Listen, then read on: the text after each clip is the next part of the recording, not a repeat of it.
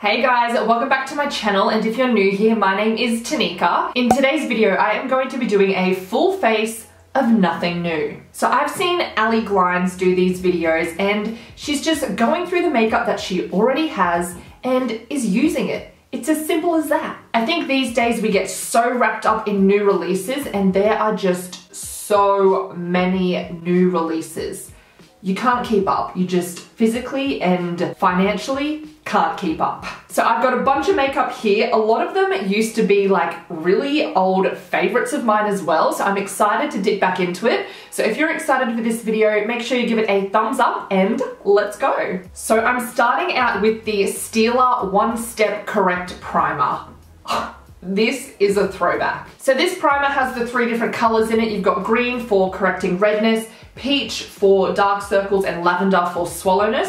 I used to love this for correcting my redness. It is a high-end item, so it's something that I wouldn't repurchase a lot. And now that I found my L'Oreal Infallible Anti-Redness um, primer, I was gonna say concealer, I just reach for that a lot more because it is more affordable and I can afford to buy it as often as I need it. Now I'm going to do a little bit of color correcting with something that I haven't dipped into for a really long time and that is the Rimmel Insta Conceal and Correct palette. So as you can see we've got the peach, the green and the lavender again. So I would use the peach for under my eyes and the green for color correcting any blemishes. A couple of years ago color correcting become a really big trend and it's something that not everyone needs but if you do need it, it's actually so damn useful. So because I'm so fair, my foundation doesn't really have enough pigment to cover all the redness that is in my skin.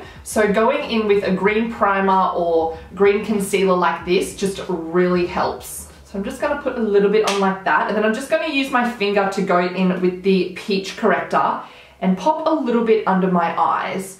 Now again, my dark circles aren't that bad, but this definitely helps to make sure my concealer is giving me the most with its coverage. Now for foundation, I'm going in with the Maybelline Fit Me Matte and Poreless in the shade 110. I remember when this was released, it was like, finally, a super fair shade with a great undertone that actually matches me. It was like one of the first at the drugstore that was actually a really good match and not something that I had to adjust with lightning drops. So this one I just dab it on with my finger. From memory, it's got a medium coverage.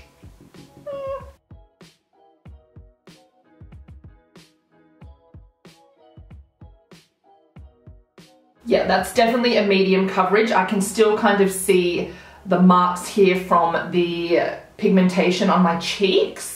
I feel like the market has really changed in the last couple of years. When I first started getting into makeup, there really wasn't a lot of options for fair skin.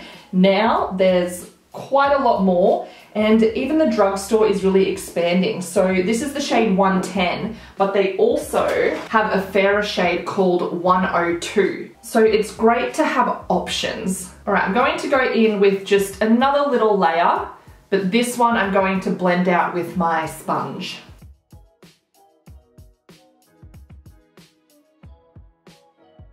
For concealer, I'm going to be using my Makeup Revolution Conceal and Define in the shade C1.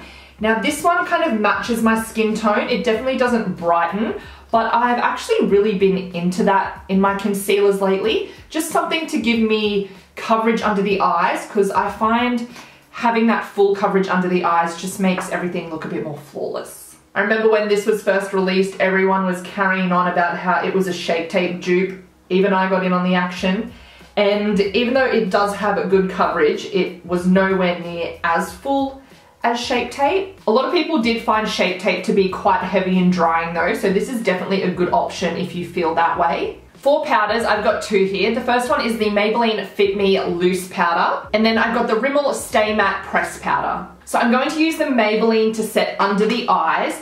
Now, I haven't used this in so long. I've been so obsessed with my Models Prefer Mineral Finishing Veil. I literally forgot I had this shoved up the back of my drawers. Now, I do have the shade 05 Fair, which is a US shade. I did buy it off of eBay. This powder has been released in Australia, but the lightest shade is 10 Fair Light or something. We don't have the shade 05, which is a real bummer because this powder is amazing.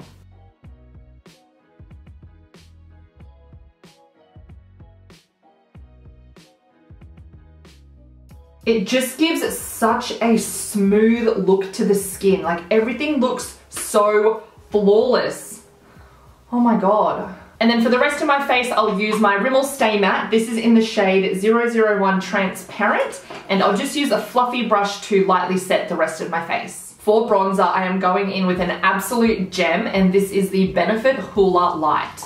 Now here I go again with the back in my day crap, but back in my day, Benefit's Hoola was an absolute holy grail for literally everybody except for me because it was too damn dark and the undertone was way too warm for me. And again, there weren't a lot of bronzer options to choose from a couple of years ago if you had really fair skin. So when Benefit come out with this Hoola Lite, it was just like, holy shit, a bronzer that is actually going to work for me. The drugstore has definitely come out with some better options now so you don't have to spend a lot of money on a product like this. But if you wanted to, I definitely recommend it and this bronzer is just so good for fair skin. I am just going to go in and contour very lightly using my Rimmel London All About the Base eyeshadow. Using eyeshadows as contours works so well for fair skin because you can get eyeshadows that have a better undertone that's suited for us. Whereas a lot of the contouring products on the market these days are quite warm and you want something that's more cool tone that's going to create that shadow. So I just go in with an angled brush and very, very lightly pop this in the hollows of my cheeks.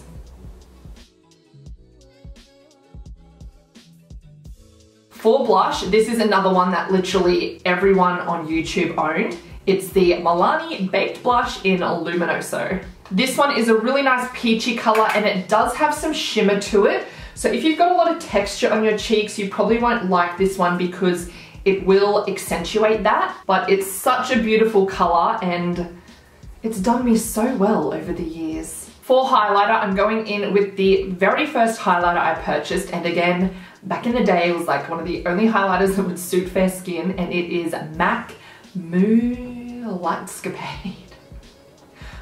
I feel like I really talked that up then, and then I forgot the name.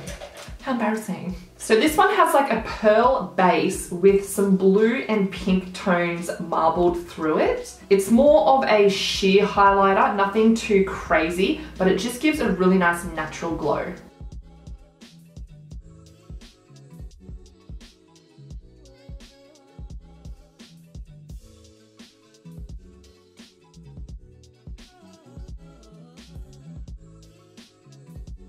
Okay, so onto brows, I'm also dipping into a product that used to be like my favorite. It is the NYX Eyebrow Cake Powder. Mm -hmm. And this is in the shade Blonde. So as you can see, this was very, very well loved, but I just haven't reached for powders a lot lately. I've been going more the pencil, you know, route.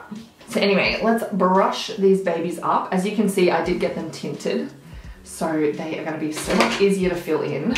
Okay, so I think I used to start with the lighter powder and I'd use this for the front of my brow.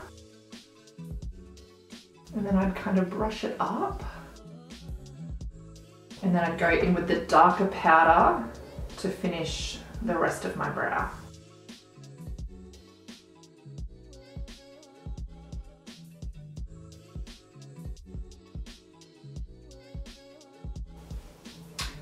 Actually looks pretty good.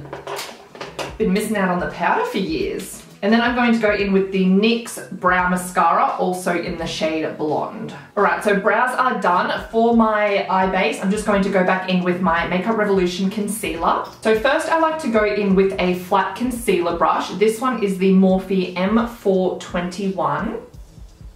And with this, I carve out my brows and just kind of spread the concealer around. And then I go in with the Sigma Precision Flat Angled P88 brush. And this is just like a really mini kabuki brush. And then I stamp over the concealer to blend it out. Sometimes when I'm doing eyeshadow, I will set it with powder. Other times I won't. But I find that using these two brushes make a really, really nice base.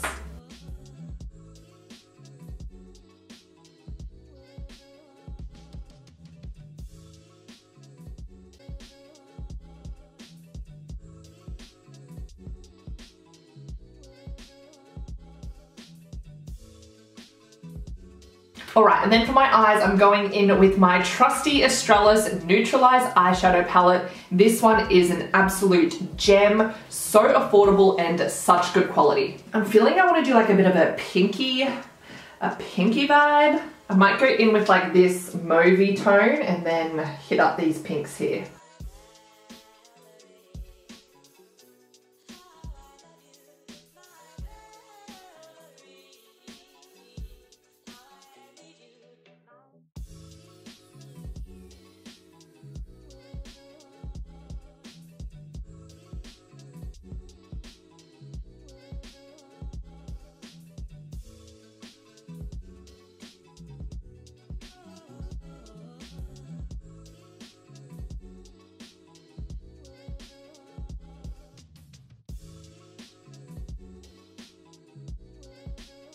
For mascara, I'm going to be using the L'Oreal Paradise Extatic.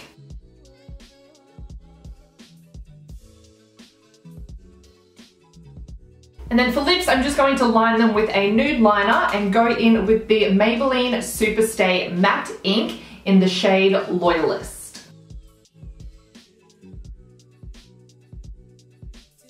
Forgot what a nice shade this is. Oh my God. So this is a matte liquid lipstick. It does dry down and I think because the formula is really opaque, you don't have to put a lot on. And I think that's where the problem comes with liquid matte lipsticks is when you apply a lot of layers, it becomes really cakey. And then to set everything in place, I'm going in with my trusty Rimmel Instafix and Go Setting Spray. Alright guys, well this is the finished look. I hope you enjoyed watching. I had so much fun dipping into these old products and like reminiscing on them.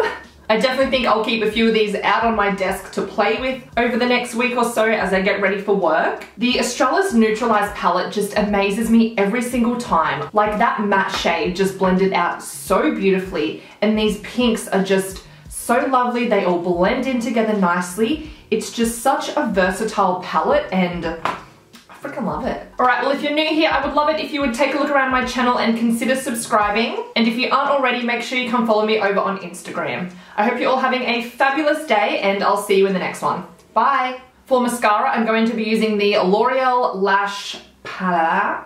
Kiki's here. You look so dark back there. I've been doing it. I like that shirt. Thank you. Pretty comfortably. It's not, it's not physically and um, I'm just asking you. I know you're gonna say no, but I'm gonna I'm gonna try anyway. Um, Don't forget that double chin. How cool are these pants? I They came up. love. Not bad. Not bad, but I wouldn't get it again. Ever.